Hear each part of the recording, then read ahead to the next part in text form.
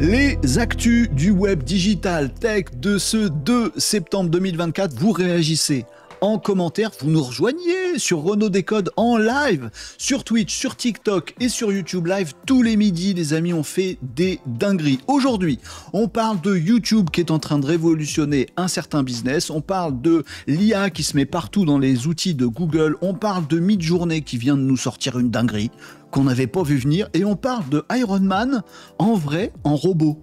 Oh, vous allez kiffer. Oh, c'est parti. YouTube annonce lancer des cours payants sur YouTube. Alors c'est tout un nouveau business qui s'offre euh, à tout le monde, hein. pas qu'à vous, aussi à des gens qui vont en abuser pour mettre des cours tout pourris et vous les faire payer. Parce que c'est un peu le principe. Non, pas d'avoir des cours tout pourris. Le principe c'est d'avoir des très très bons cours mais payants. YouTube va lancer tout un ensemble de fonctionnalités assez dingues avec des playlists dédiées qu'on va pouvoir créer pour dire bah, par exemple moi je m'y connais vachement en je moi en astrophysique. Ah c'est pas vrai. Voilà eh ben, je vais euh, filmer, je vais tourner des petites vidéos, une petite succession de vidéos bien structurées sur l'astrophysique pour expliquer plein de choses à plein de gens. Bon, je vais pouvoir les mettre, c'est prochainement, ça arrive très prochainement, c'est actuellement en test aux US et ça va arriver chez nous. Surveillez votre compte YouTube Creator si vous euh, mettez des contenus régulièrement sur YouTube. On va pouvoir dire, bah voilà toutes mes vidéos, je les mets dans une playlist qui, qui va avoir une caractéristique court, qui va donc se retrouver court, c'est URS apprentissage, formation, voilà.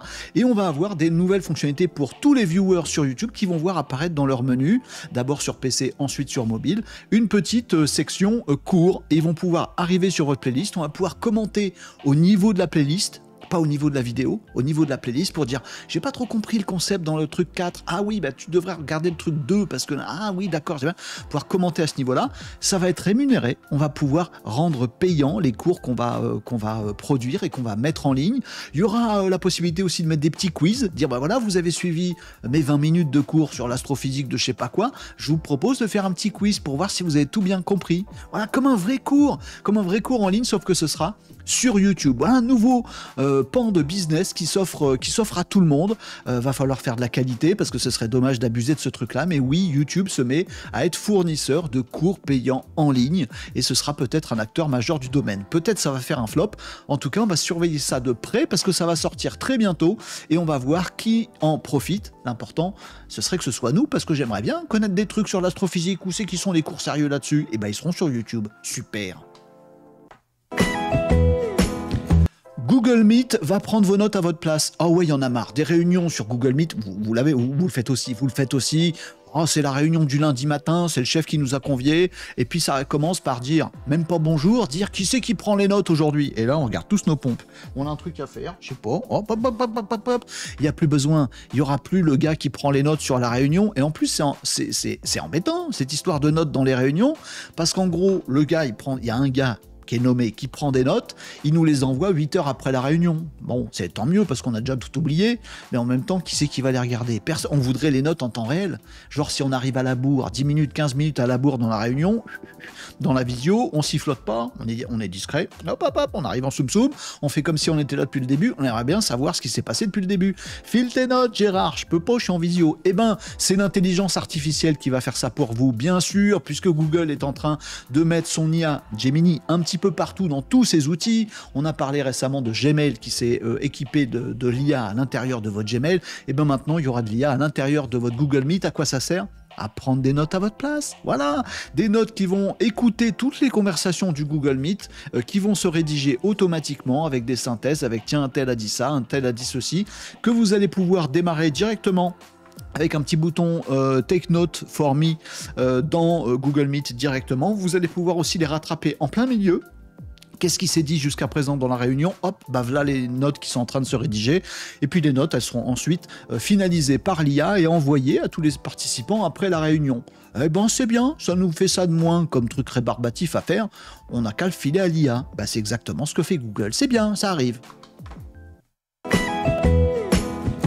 Bon, Midjourney est en train de troller tout le monde. Qu'est-ce qu'ils nous font chez Midjourney Midjourney, la célèbre IA générative d'images, qui est quand même un truc absolument dingue, qui est un des leaders là-dessus. Personnellement, c'est mon préféré pour générer des images avec l'IA. Midjourney se met aussi à la vidéo. On le sait qu'ils ont des tas de projets sur la génération de vidéos. Et comme on voit comment est foutu Midjourney, et comme quand on voit comment est foutu une IA générative de vidéo, on sait qu'ils vont être leaders dès qu'ils vont sortir une petite dinguerie. Et ben là, par le jeu de différents recrutements. Un ancien de chez Apple qui a bossé sur les casques, un ancien euh, de, un ancien euh, euh, de chez, de chez, j'ai oublié le nom, mince, de chez Leapmotion, voilà, qui a bossé aussi sur du hardware. On comprend que Midjourney est en train de monter toute une équipe sur du hardware, sur du matériel. Mais Midjourney, c'est une IA accessible en ligne. Où est-ce qu'ils vont faire du matériel? Ils vont faire du matériel. Ils n'ont pas dit non, non, non, non, vous inquiétez pas. Si on recrute des tas de dingos qui sont super super balèze dans la création d'un device, dans la création d'un appareil, ça veut pas dire qu'on va créer un appareil. Non, non, ils ont pas dit ça. Ils ont dit, eh oui, effectivement, il se passe des choses. Il se passe quoi? On veut savoir, mid-journée qui nous ont dit. Ils sont très secrets là-dessus. Alors on a commencé à les interroger. Est-ce que vous seriez pas en train de préparer genre un petit pendentif hein, C'est à la mode des pendentifs IA qui nous écoutent. Non, non, c'est pas un pendentif. Ah bon? Alors est-ce que vous êtes en train de fabriquer un petit animal qui va se mettre sur notre épaule? Non, non, c'est pas ça, c'est pas ça. Un petit truc qui se pose sur le bureau, je sais pas. un casque virtuel? Ah, Peut-être ce sera ça. Ah, peut-être. Un casque virtuel Peut-être, peut-être, on sait pas, on sait pas. Qui euh, sera doté des technologies euh, IA de mid-journée qui va pouvoir nous embarquer dans, des mondes virtuels générés automatiquement par mid-journée ils disent pas que c'est ça, ils disent pas que c'est pas ça. Il y a un des, euh, des recrutés pour le hardware chez Midjourney qui nous a dit nous, on va créer le Palantir. Alors ceux qu'on la ref, les geeks, euh, si vous connaissez le Seigneur des Anneaux, dans le Seigneur des Anneaux, il y a un truc qui est une sorte de boule de cristal, sauf que c'est pas du cristal, qui se répartit un petit peu, il y en a plusieurs un petit peu partout dans le monde, et en fait quand on touche un de ces palantirs, de ces boules de cristal, bim, bim, on voit ce qui se passe de l'autre côté.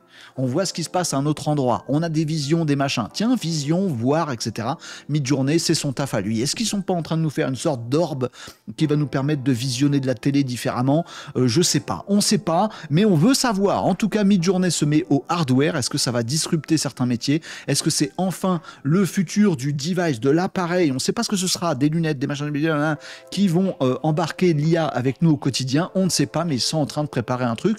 On va les surveiller de très près, les petits malins de chez Midjourney, pour savoir ce qu'ils font.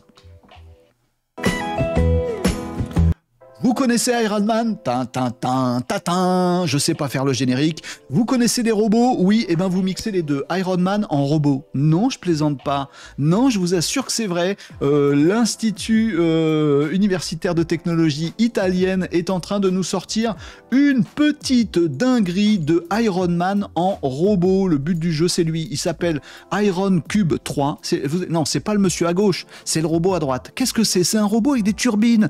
Vous les connaissez? Les jetpacks, on a déjà vu dans Renault Décode. Vous connaissez aussi les gens qui s'amusent avec des petites turbines accrochées aux mains et aux jambes et qui arrivent. Alors, c'est généralement des turbines euh, hydrauliques avec de l'eau. Là, c'est des, euh, turbines, des vraies turbines.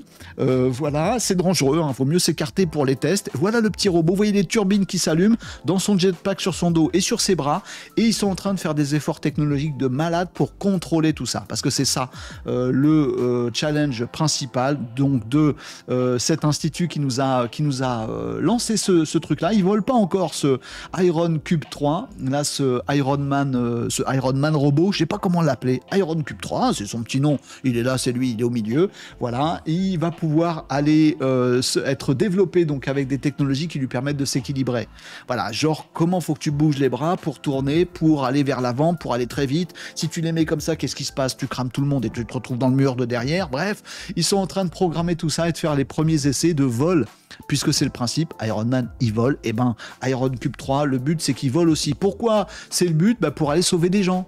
Une avalanche, un mec coincé dans la montagne, un mec coincé au milieu d'une inondation, d'un fleuve, etc. On envoie le petit Iron Cube 3, peut-être qu'il sera doté d'intelligence artificielle, un de ces quatre, et il pourra détecter qu'il y a quelqu'un en perdition ici, ta ta ta ta ta je vole jusqu'à lui, hop, je le récupère. Non, pas avec tes mains, t'as des turbines dessus, tu vas tout cramer, pardon. Il l'accroche et hop, on sauve les personnes. Peut-être que ce sera euh, l'hélicoptère de secours du futur, ce Iron Cube 3. En tout cas, il fait rêver, il, me fait penser à Astro Boy. Si vous avez la ref, euh, les amis, c'est vrai qu'il a une bonne petite tête d'Astro Boy. En tout cas, il arrive, il est en cours de développement. On n'arrête pas le progrès Et quelque part, c'est tant mieux, tant que c'est fait pour ça et pas pour faire la guerre. Bon, on est plutôt pour. Allez, Astro Boy, non, Iron Cube 3, vas-y, va sauver les gens, vite, vite, développe-toi. On a envie de voir ça. S'il y a d'autres vidéos, je vous les partagerai avec plaisir. C'est en live sur Renault Décode. Bye.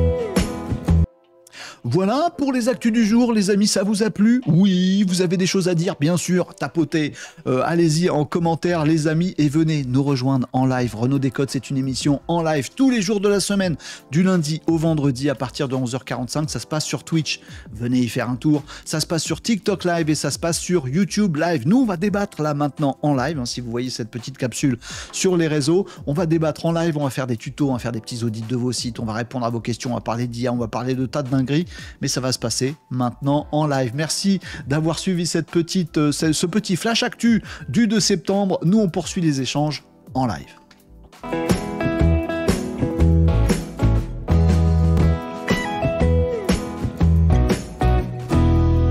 Ouais, c'est ça.